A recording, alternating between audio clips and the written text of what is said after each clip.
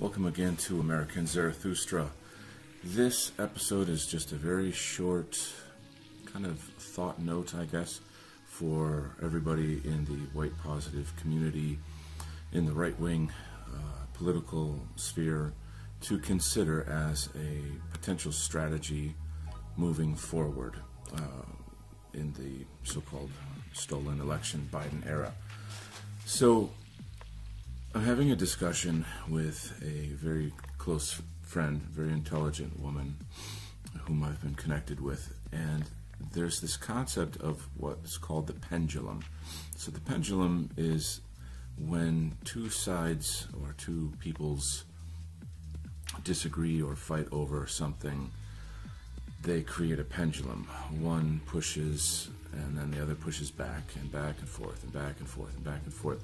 And the ideas driving this pendulum become, in a way, an entity unto itself.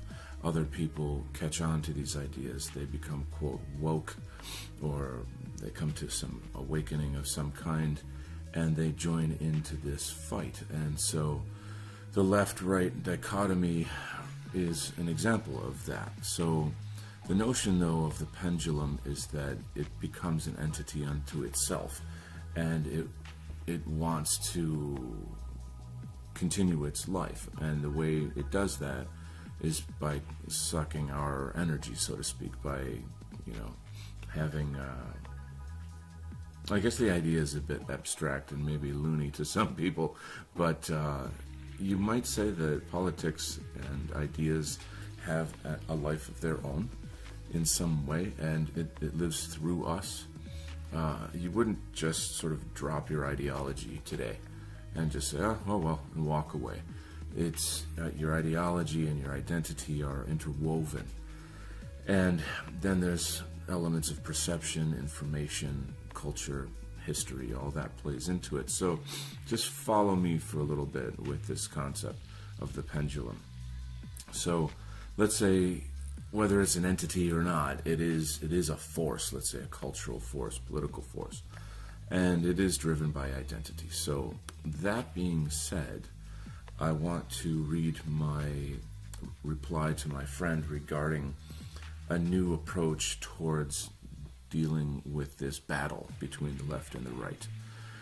Okay, so one side of me, the martial artist in me, wants to figure out how to work that pendulum to our advantage. Whether this can be done or how exactly to produce a desired result is difficult to say. Applying Taoist principles, that's indigenous Chinese philosophy, Taoism, T A O. The pendulum is the interplay of yin and yang, which is literally the nature of everything day and night, man and woman, uh, winter and summer, life and death, breathing in, breathing out. It's everything, everywhere, all the time in the world we inhabit. You either get an opposite and equal force to what you exert, or you neutralize the situation. There's also a kind of balance continuum you can sustain through a certain kind of natural inaction that's a little complex to go into, but let me move forward with my martial arts martial arts approach to the left-right dichotomy. In martial arts, you can apply all kinds of forces against the opponent with varying results. You can also draw them into an attack by yielding. You can bait, misdirect, deceive, but all of this is playing the pendulum. I'm extremely good at this in Kung Fu and blah, blah, blah, bragging, bragging. Uh, the point is, I'm using nature's laws, not my own ego. So this is the crux of the matter. your identity and your ego are one, right? So everything in politics is driven by ego, per se. So if we replace that with using nature's laws, how can we come to a resolution, a political resolution?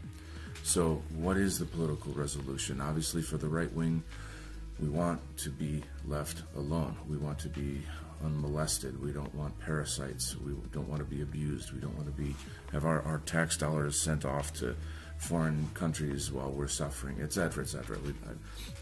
The true nature of conservatism is to conserve, to preserve Western civilization in our case.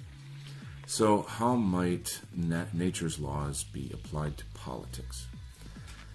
I continue in my letter. Granted, this is still engaging in samsara or suffering.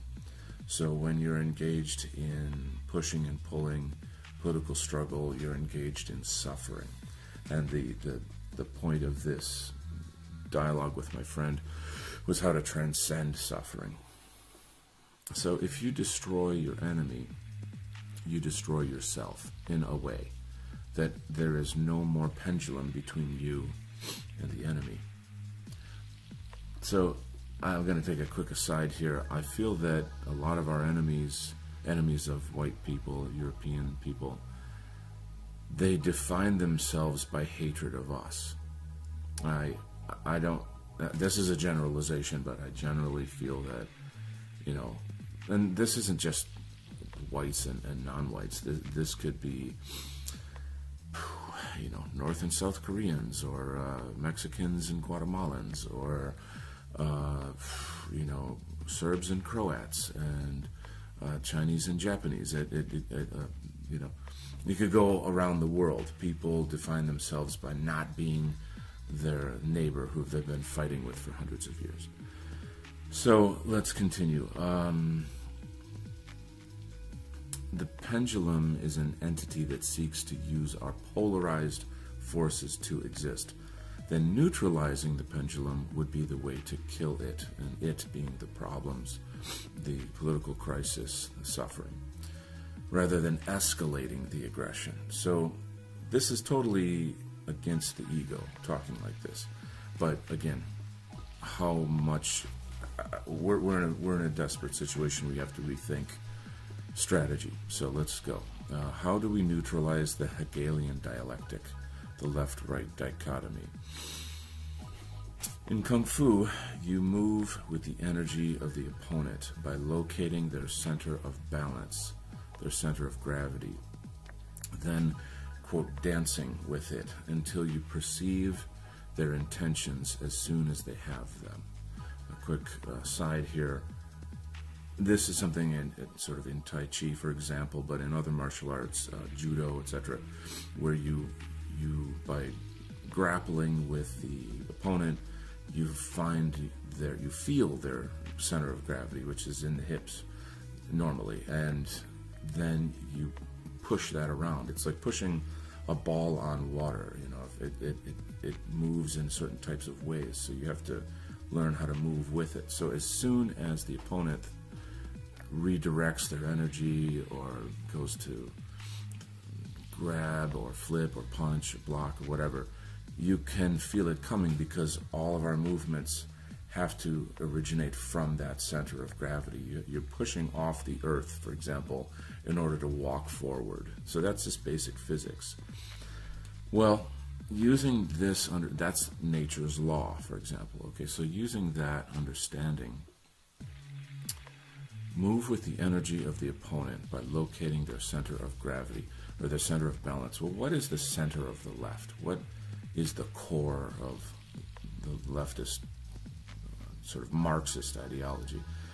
I'm going to say I'm not an expert, but I will say maybe class warfare, um, class conflict is creating that to the extent that they can mm, sort of weaponize people's egos and identities to attack another class and therefore destroy the system. So divide and conquer, divide and conquer, and so you create. You know, you, you're seeing the point. So that I believe is their center of balance. So from there they move forward. It's very easy for them to uh, press the race button, for example in, in America and elsewhere. Partly because whites have white guilt, which is a mental illness, and the opposite of reality if you consider everything and just absurd. And then we could go into a lot of other reasons. Non whites have uh, their reasons to hate us. Uh, if it's envy or colonialism or A, B, C, D, E, F, G, forget about the fact that they enjoy everything that Westerners created, the modern world. Uh, forget about the fact that they enjoy all kinds of benefits. I don't want to go down that road. So we let's just I'm just going to assume you understand these things. So starting from there, that that's an interesting topic. That's an interesting discussion, and I will kind of leave it to you to take it from there. So let me finish my uh, note to my friend. Um, okay, so you move with the energy of the opponent by locating their center of balance and dancing with it until you perceive their intentions as soon as they have them. Now, the left tends to show their cards to the media a lot. Uh, there's a news report the other day. Biden says, Oh, Iran is just weeks away from having nuclear capabilities. so you're saying, Get ready to go to war over there, right? And forget about Obama giving pellets of you know, billions of dollars of U.S. taxpayers' money to them. And I'll, I'll get back to the topic. With an empty mind, you must move with their intended attack. So, coming back, once you locate their intention, you empty your mind. And I guess that means essentially release your ego. So, if you attack from the basis of identity and ego, now you're engaged in the game. And it becomes, it, it, now it's sort of the tall guy versus the short guy, or who's heavier, or who's stronger who knows more techniques, and, and then whoever does is the winner. If you don't play that game, you can sidestep, you can walk around it. And so that starts with emptying your mind, so, or your ego. So, um, just think of it as a new kind of a neutrality. So, you move with the opponent's intended attack redirecting that energy into the void and thus neutralizing their power. That's the key point of this whole thing. How do we, on the right, redirect the attacks of the left politically and culturally into a void and to neutralize that power? Typically, this is where you flow into an assault on on your enemy and you know when they're at their weakest. So when they become neutralized they are weak. And that in in you know in martial arts that's where you you throw your attack when they're weak. So but here's the thing. That is getting back to the pendulum. So if you are so good at martial arts where every single attack your opponent does on you you're able to block redirect or neutralize to the point where the enemy realizes there's no point in attacking you because every single attack becomes neutralized in some way, then they give up. You see, they give up. So, what would we have to do to make the left give up on us and say, this is pointless, this is use- useless, walk away? Nobody's ever asked that question before. Nobody's ever thought to ask that question these are nature's laws. So, um, you know, you just think of a simple pendulum, you know, an iron ball on a string, and you leave it alone long enough, and it'll slow down and slow down and stop. So, it's a serious question, and I, I'm sure there's a million ideas and responses to this that are for or against, probably mostly against, because we're entangled in our egos, we're entangled in our identity we have identity. We have to win. We have to preserve ourselves. But is fighting, or rather, how do I put this?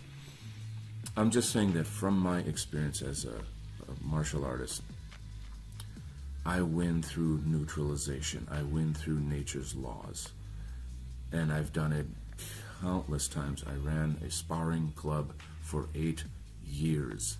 I fought every kind of guy, every kind of style tall, short, fat, strong, weak, every single, uh, crazy, calm, like any kind of mental, physical type, I've fought them in a sparring environment, which is a safe fight. It's not literal fighting. So I've tested these things out. Can we apply these things to politics?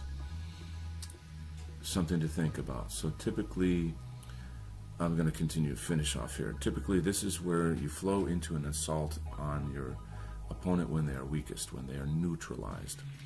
In politics, however, that just might make them come back with a vengeance. So, in a sense, you don't defeat them by, you know, punching them or what, or hurting them or something, but you defeat them by neutralizing them. I've defeated many opponents simply by blocking, redirecting their offenses until, again, they realize it's pointless to try to hit me. They burned out. Okay, so to make the left burn out, is that even possible? You see, they're ego based, they're identity driven. They're driven by intense hatred, old, old hatred of Europe. And I'm, I'm referring to a specific tribe that is behind the whole thing. Can that be burned out? That is a deep well of hatred. Uh, I mean, millennial, I would I say, it's older than a thousand years, put it that way. So perhaps to stop the left right pendulum, we have to find a way to redirect the left's assault into the void. This is the million dollar question. So I'll leave you with that. Um, definitely the beginning of a discussion, not the end. Have a great day.